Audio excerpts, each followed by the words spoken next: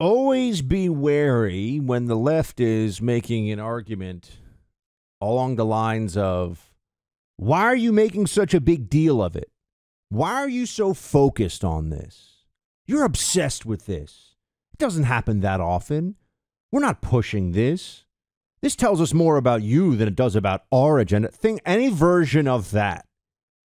Uh, it's just gaslighting, which is very common these days. And they're doing it on a range of issues. But the place where you'll see it, I think, in the most uh, obvious, the most obvious cases would be uh, on issues of gender, what they're now calling gender equality, um, or the transgender agenda, right? So we have up in Vermont, and, and I always say this Vermont is for me a place that we we should have seen this coming and, and should have done something to keep well to prevent Vermont from becoming the uh, left wing haven in New England that it is. A lot of people from New York, New Jersey, and Connecticut who had very leftist tendencies figured, well, you know, I can get more land and cheaper cheaper cost of living, etc. I'll move to Vermont. So, you know, Bernie Sanders, for example, a Brooklynite New Yorker who moved to and now is the senator from Vermont. It's a beautiful state. I, I love it. I used to spend summers there. Uh, I used to go to camp in Vermont. So I think Vermont's lovely. Uh, well, in the summers at least. I've never been in the winter. I'm not a skier, so it's not as appealing to me. But Vermont has a situation unfolding. The Mid Vermont Christian School, um, a few weeks ago, its high school basketball team forfeited a playoff game. You all know where this is going. The Christian school, Mid Vermont Christian School, forfeited the playoff game because the opposing team had a transgender player, as in a teenage, uh, you know, an adolescent male who wants to play against women's basketball players or, you know, teenage girl basketball players. I'm not sure if they're, they're you know, they could be 18, they could be 16. I think it's, uh, if they're varsity, they're probably older. Anyway, so we'll say roughly 16 to 18 years of age is what we're talking about here. And and uh, by the way, any of you who have who well, I was going to say who have kids, but just anybody who has has eyes knows that by the time boys get to 13, 14 years old and and puberty uh, hits, their strength, speed, musculature, everything is very different from girls. Right? So it's, you know, at at uh, earlier ages the differences are still pronounced but are not you know super pronounced and then they get into the teenage years, and all of a sudden, um, it's quite different. I mean, as any guy who played high school sports knows, if you then went to college and you know scrimmaged on like a co-ed team, and you came up against you know all American women in your sport, y- you realize men have a huge advantage over women, right? Even I just mean in a recreational setting. Um, so here's where we are. The Mid Vermont Christian School said they would not participate in this game, and now they have to be punished. You see, this is heresy in the Democrat stronghold of Vermont. You're not allowed, um, and this they're saying this is a violation of gender discrimination. So, the school, this Christian school, has had its affiliation in the athletic league that it is in canceled.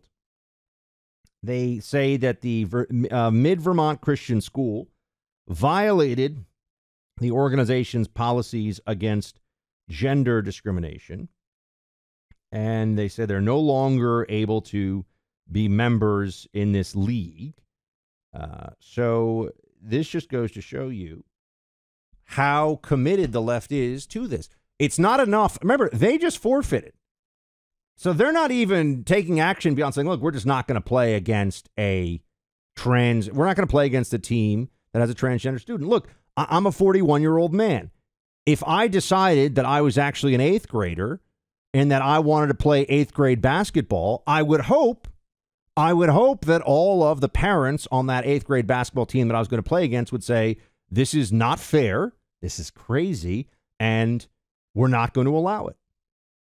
We're not going to allow it. I mean, I, I remember I used to make the argument many years ago that, and I'm talking about 2000 when I first started in radio, so 12, gosh, 12 years ago now, maybe uh, 10, 11 years ago. I said, what about transgender? Because this was when the beginnings of the transgender athlete thing was becoming really, really uh, a, debate.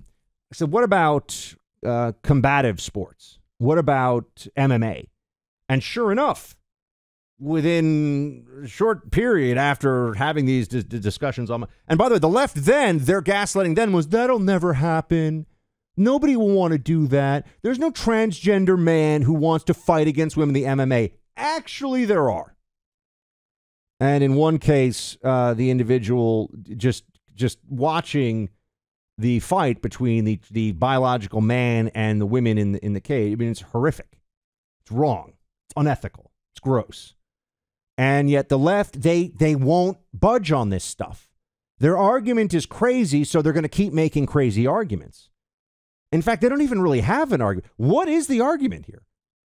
That there's gender discrimination. You have gender segregated sports, but it's gender discrimination to insist that the gender segregated sports are actually segregated by gender.